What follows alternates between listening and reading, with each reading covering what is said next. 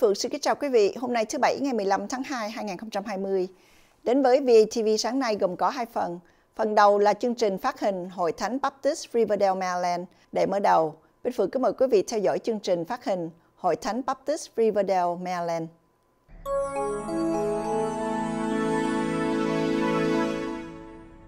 Xin trân trọng kính chào quý khán thính giả của đài truyền hình sbtn. Trong kỳ phát hình lần này, chúng tôi xin được giải đáp thắc mắc của một thân hữu gửi đến cho chúng tôi những ngày trước.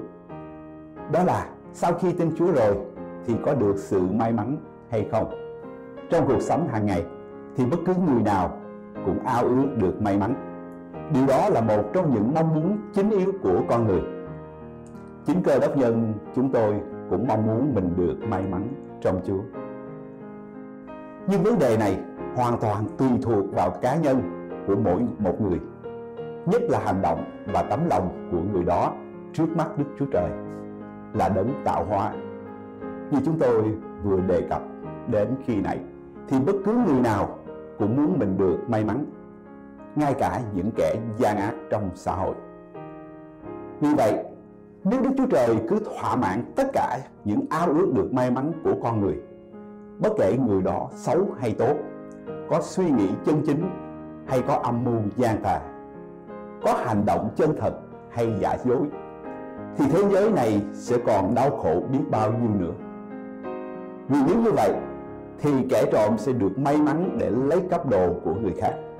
Kẻ gian tà sẽ có cơ hội lấn lướt người thiện lành và kẻ có âm mưu thâm độc sẽ hãm hại được kẻ khác. Vì vậy, Đức Chúa Trời chỉ ban sự may mắn cho những người nào biết sống đạo đức và có hành động cũng như tư tưởng thiện lành đối với người khác. Đó là nguyên tắc của Đức Chúa Trời. Vì vậy mà ngay sau khi tin Chúa rồi thì tất cả chúng ta đều phải tập tành sống thiện lành từ trong suy nghĩ tới hành động để có thể được Đức Chúa Trời ban cho sự may mắn bình an, vui mừng và hạnh phúc trong cuộc đời này. Đức Chúa Trời là đấng công bằng, Ngài thưởng phạt rất phân minh. Bởi lẽ đó, chỉ những người tốt mới nhận được sự may mắn thật trong Chúa. Nói đến đây thì hẳn sẽ có quý khán thính giả thắc mắc rằng tại sao trong đời này vẫn thấy có kẻ ác may mắn và vẫn thấy có kẻ gian tà hãm hại được người ngay lành. Về vấn đề đó thì lại liên quan đến quan điểm của mỗi cá nhân về sự may mắn là thế nào. Đức Chúa Trời là đấng khôn ngoan, nên nhiều khi Ngài ban cho chúng ta sự may mắn mà chúng ta không hiểu được. Có nhiều ví dụ để minh chứng cho điều này. Chẳng hạn như có người kia, vào một ngày quan trọng nhất tại sở làm, trong tuần lễ đó, vì có buổi họp với cấp lãnh đạo để được đề cử và thăng lương thì bất ngờ anh bị cảm sốt nặng quá đến nỗi không ngồi dậy nổi trên giường. Thành ra không đi đến được sở làm để được người ta đề cử trong ngày đó. Anh lấy làm buồn bã và than thở rằng tại sao mình xui xẻo quá như vậy.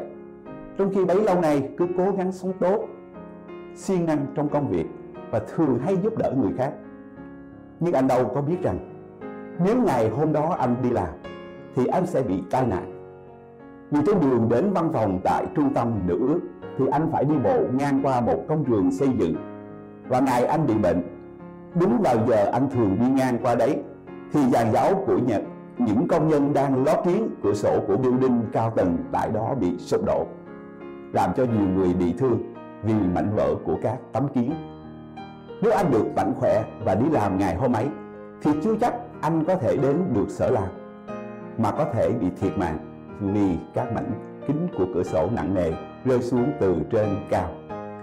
Sự may mắn của anh là định bất ngờ, đúng ngày, đúng giờ mà anh lại tưởng là mình bị xui xẻo. Đó không phải là một những chuyện hy hữu chỉ xảy ra một vài lần mà trong thực tế trong cuộc sống cho thấy đã từng xảy ra nhiều lần cho nhiều người. Một trong những bằng chứng điển hình là việc có những người bị trễ chuyến bay hoặc thay đổi chuyến bay vào giờ chót trong ngày 11 tháng 9 năm 2001. Và nhờ đó, người ta không bị chết thảm khốc trong vụ khủng bố Hồi giáo tấn công hai ngôi nhà thương mại cao tầng tại thành phố New York. Câu chuyện của những người đó đã được báo chí đăng tải và được phỏng vấn trên các đài truyền hình tại Hoa Kỳ. Đức Chúa Trời là đấng khôn ngoan và biết trước được mọi điều. Vì vậy, nếu Chúa dùng hoàn cảnh này hoặc trở ngại kia để bảo tồn sinh mạng của những người thiện lành trong thế gian mà chúng ta không biết được, đôi khi còn quay lại trách móc sự nhân từ của Ngài. Vì vậy, vấn đề được may mắn như thế nào tùy thuộc vào sự nhận biết của chúng ta. Giống như lời Kinh Thánh có bày tỏ trong thư tín Roma đoạn 8 câu 28 rằng Vì chúng ta biết rằng mọi sự hiệp lại làm ít cho kẻ yêu mến Đức Chúa Trời, tức là cho kẻ được gọi theo ý muốn Ngài đã định. Vì vậy, khi chúng ta biết sống thiện lành, thì những điều xảy đến cho mình, dầu thấy là tốt hoặc xấu, bị xem là xấu thì được Đức Chúa Trời cho phép xảy ra để bảo vệ và làm ích lợi cho những người biết sống đẹp lòng Thượng Đế. Ngoài ra, việc mà chúng ta thấy có những trường hợp mà trong đó người gian ác lại hãm hại được kẻ khác thì chúng ta cũng đừng vội vã cho rằng Đức Chúa Trời không biết hoặc không thấy điều đó. Vấn đề quan trọng là chúng ta có hiểu được rõ ràng đời sống của người gian ác và người mà chúng ta cho là có đời sống thiện lành kia không. Vì Đức Chúa Trời là đấng công bằng, thưởng phạt, phân minh nên tội lỗi của mọi người dầu là phạm trong quá khứ cũng phải điều lãnh lấy hậu quả hoặc sự đoán phạt ngay trong đời này. Có thể một người kia từng có đời sống gian ác trong quá khứ nhưng lại sống thiện lành ngày hôm nay. Thì hậu quả của việc làm trước đó của người ấy cũng phải bị Đức Chúa Trời đoán xét bằng một sự trừng phạt nào đó. Mà người đứng ở ngoài cuộc như chúng ta lại tưởng rằng là người thiện lành bị kẻ gian ác hãm hại. Vì vậy, sự may mắn của đời sống chúng ta phụ thuộc vào việc chính mình có thể sống thiện lành trước mặt Đức Chúa Trời hay không. Để được Ngài ban cho chúng ta điều ấy. Sau khi tin Chúa rồi, thì chúng ta cần phải cố gắng sống theo mẫu mực mà Đức Chúa Trời đã dạy dỗ trong Kinh Thánh. Đó chính là bí quyết quan trọng mà chính yếu để chúng ta có thể được Đức Chúa Trời bảo vệ, gìn giữ và ban phước cho trong mọi hoàn cảnh.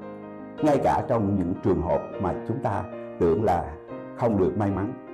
Thì đó cũng là ơn phước của Đức Chúa Trời để gìn giữ đời sống mình được bình an và hạnh phúc luôn. Ước mong rằng lời giải đáp của chúng tôi thỏa mãn được sự thắc mắc của quý khán thính giả. Cầu chúc quý ông bà, anh chị em một ngày bình an, vui vẻ. Xin hẹn gặp lại trong chương trình phát hình lần tới. Xin trân trọng, kính chào.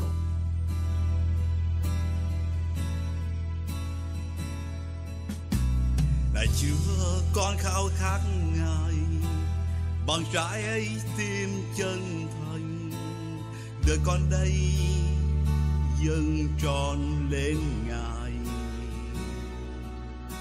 Lạy Chúa con khao khát Ngài Bằng tất cả thân này. Giêsu ơi xin Ngài nhận lấy. Xin thêm cho con thánh linh Ngài. Xin thêm cho con thần của Chúa.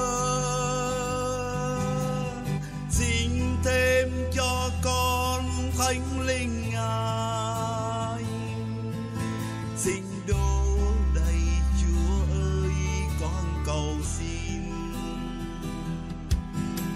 Này Chúa, con khao khát Ngài, Bằng trái tim chân thành. Đời con đây dâng tròn lên Ngài.